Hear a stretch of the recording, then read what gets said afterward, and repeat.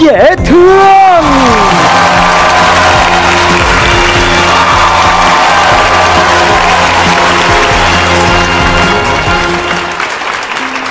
Chơi nhiệt tình Quậy hết mình Vui vẻ hậu bạo lẽ ra cái tên dễ thương là mình ra mình phải làm những cái dáng cho nó dễ thương à. Yeah, yeah, như vậy. không nhẹ nhàng quá. Làm lại thêm lần nữa. Mình ta mình thấy cái sự vui vẻ thiệt sự rồi nó dễ thương thiệt sự đúng với tên gọi của mình. Chứ gì rồi? Luôn làm lại coi hai ba Chơi nhiệt tình Quậy hết mình. Vui vẻ hổ bạo nha. Dạ thưa quý vị, các em đã cố gắng hết sức. Rồi giờ giới thiệu cho anh nghe từng người coi Dạ em xin giới thiệu em tên là Hoàng Đan à Em đã tốt nghiệp diễn viên tại trường à, cao đẳng giáo quán nghệ thuật và du lịch Sài Gòn Em tên là Thà, Thanh Tùng Dạ em là Ánh Tuyết Em à, 21 tuổi Dạ em tên là Xuân Tài à học chung lớp chung trường với nhau không? Dạ, dạ có chung à. trường. Có luôn hả? Dạ Rồi bữa nay không có đi học Rồi rủ nhau tới đây tham gia chương trình hả? bốn bạn đã đến đây cùng với nhau và hy vọng rằng các em sẽ thật sự là đoàn kết để có thể vượt qua được những thử thách của chương trình nha. Tiếp theo chúng ta sẽ gặp gỡ với đội 4 much.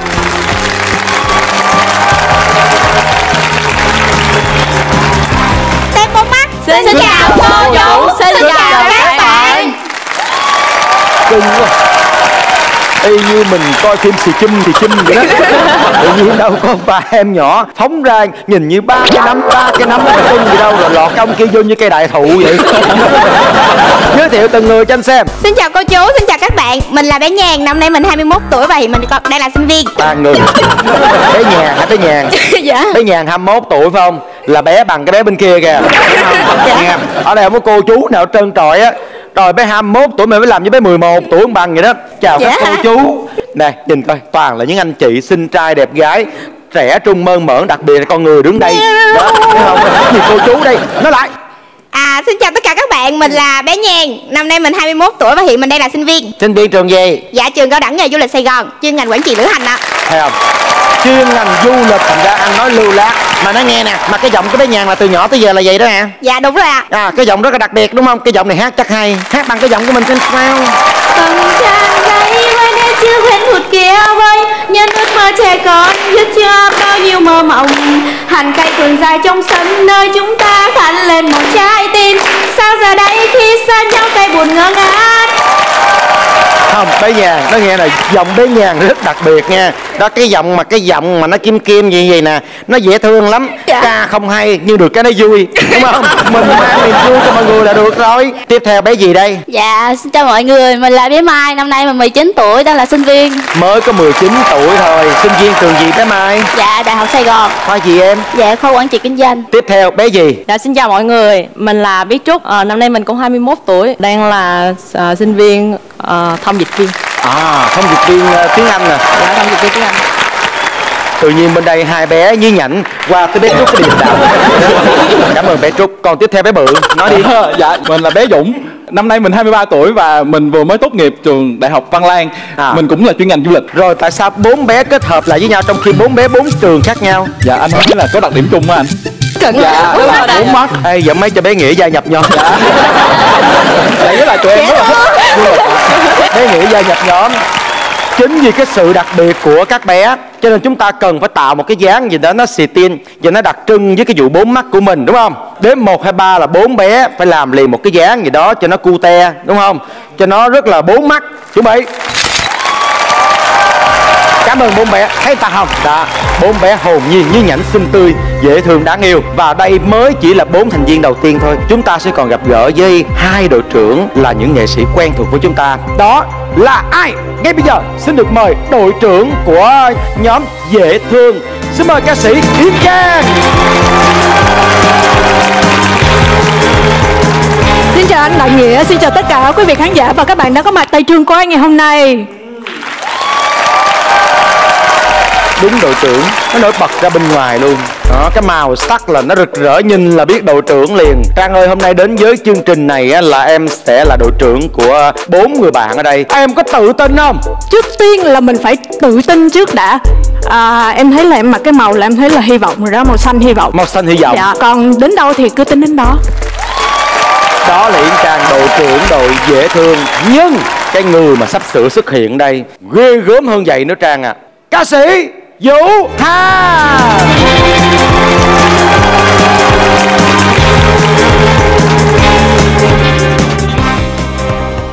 Dạ chào chú Đại Nghĩa.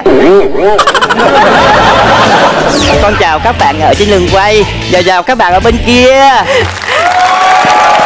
Xin chào bé Vũ Hà. có bốn bé Mà nhỏ nhất là bé 19 tuổi Còn bé này không biết nhiêu tuổi đây. Dạ con xin tự giới thiệu con là bé Hà Năm nay con 51 51 tuổi. Con...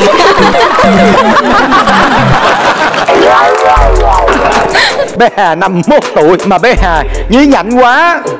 Đồng nghiệp hay gọi anh Vũ Hà bằng cái tên thân thương Ngoại Ngoại tới đây Ngoài dìu dắt mấy đứa nhỏ đi chơi hả ngoại Thì nhìn đi Con cháu bây giờ nó phải giống ngoài. Đứa nào đi Con này bỏ kiến xuống cơ Đấy phải đeo kiến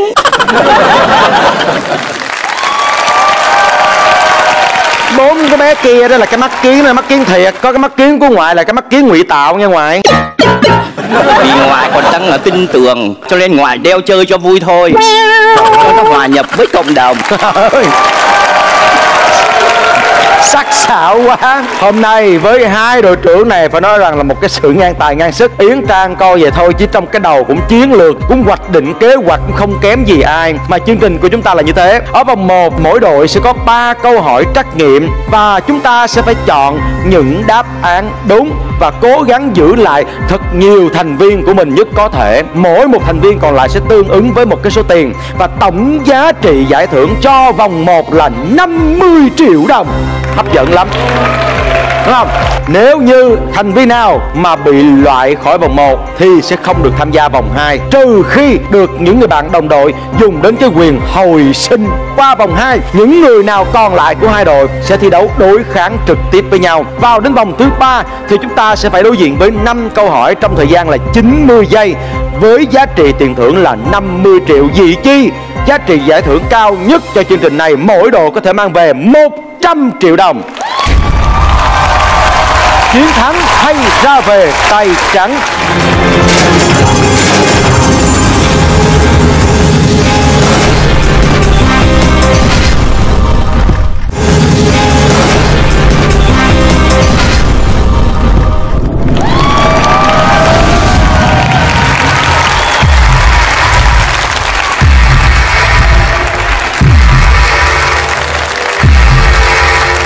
Thưa tất cả quý vị, chúng ta đã đến với vòng đầu tiên. Vòng này có tên gọi là đâu mới đúng. Và một điều nhắc nhở các thành viên của đội, nếu như các bạn mà hỗ trợ cho đội trưởng của mình, giúp đội trưởng của mình vượt qua được vòng 1 để tiếp tục có mặt ở vòng 2, mỗi đội sẽ được cộng 10 triệu đồng. Cho nên phải tính toán chiến lược. Bây giờ ai muốn xung phong? Nếu đội nào xung phong tới trước Chúng ta được quyền chọn bộ đề. Chúng tôi có tất cả là hai bộ đề dành cho hai đội. Bộ đề số 1 dễ hơn bộ đề số 2 Và bộ đề số 2 thì không khó hơn bộ đề số 1 Thấy đội trưởng bên đấy có cô gái nhìn rất là hớn hở. Có bộ đồ rất là Tao nói rất là Rất là ta nói. Tao nói thi trước đi. Bên đội dễ thương. Thường thì người ta nói là kính lão đắc thọ. Dạ em à, kính lão đắc thọ trước thế thì mời hai đội trưởng bước ra vòng tròn quánh tù xì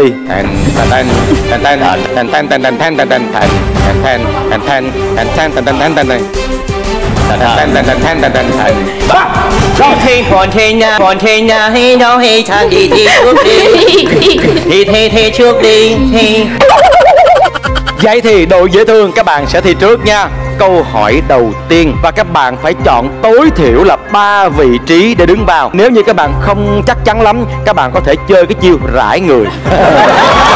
Mời các bạn bước vào đây.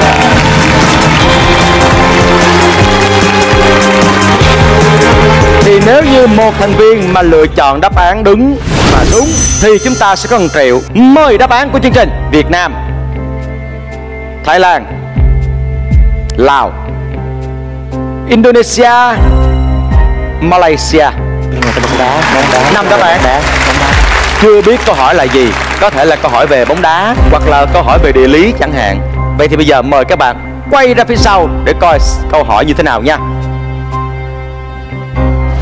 Câu hỏi, sông Công chảy qua những quốc gia nào? Bắt đầu năm đáp án của các bạn. Rồi, quay lại, lựa chọn.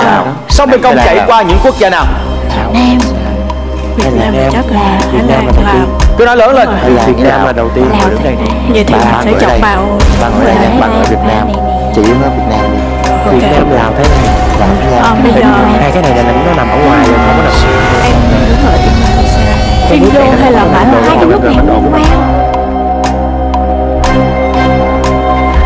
còn 10 giây. Về chạy về. đứng đúng vị trí Việt Nam đấy nhanh nào.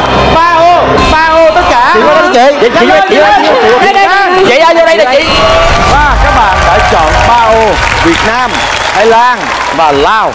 Rất là hồi hộp thưa quý vị. Chỉ còn một hai giây cuối cùng thôi thì lúc đó đội trưởng Yến Trang mới bước vào cái vị trí đứng của mình là ở cái cách sắt có đáp án Việt Nam. Ở vị trí này có tới ba người đứng lận còn bên Thái Lan với Lào mỗi bên có người thôi tại sao không ai chọn bên Indo với Malai hết trơn vậy Ờ, đội của em thì nghĩ hai câu đó là hai câu không có đáp án cho nên là không có ai đứng ở đây À, em gái, sao em sao em chọn đáp án là Thái Lan? Em qua này nhưng mà anh nhường cho chị Chiến Trang À, lẽ ra là em chạy qua bên Việt Nam phải không? Dạ. Mà sau đó là em nhường cái đội trưởng của em bởi vì như anh nói nếu bảo vệ được đội trưởng chúng ta sẽ có thêm 10 triệu khi bước vào vòng sau để coi cái vị trí mà cái cô bé này đã nhường cho đội trưởng của mình và chọn Thái Lan đúng hay sai. Anh sẽ công bố đáp án Thái Lan của em trước. Em ơi, hãy nhìn lên cái kết sắt trên đầu của em đi. Sai một cái thì nó sẽ xa xuống, nó đè mình nha em.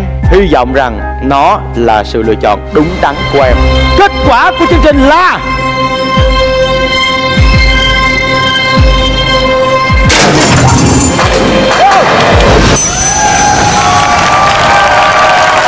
như vậy là chúng ta có được 1 triệu rồi đó.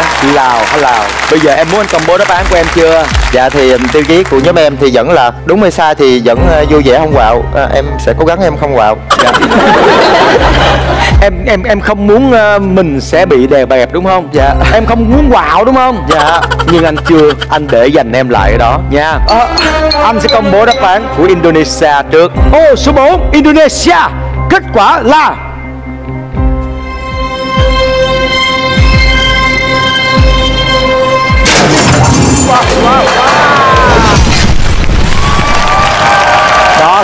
sai nên chiếc két sắt đã rơi xuống. May là không có ai đứng ở trong đó. Tiếp theo, còn lại Lào, Malaysia và Việt Nam. Một là các em sẽ được đi tiếp vào vòng 2 Hai là ba chị em dắt nhau vô căn phòng trống ngồi chơi xơi nước. Anh đến anh xem coi tình hình của ba chị em thế nào. Nó nghe là Trang cho anh nắm tay em cái nha. Nếu như có chuyện gì thì em cứ ra ngoài kia ngồi chơi. Để lại cho mấy đứa em nó lo nha Tình hình đội mình đó. Em nghĩ là em mặc màu xanh này chắc cũng ờ, không có đến nỗi nào màu đâu. xanh lá không em? Ừ là xa lánh đó.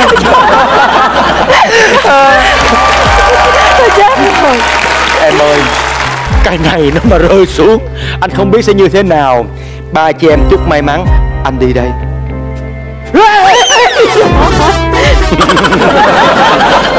Kết quả là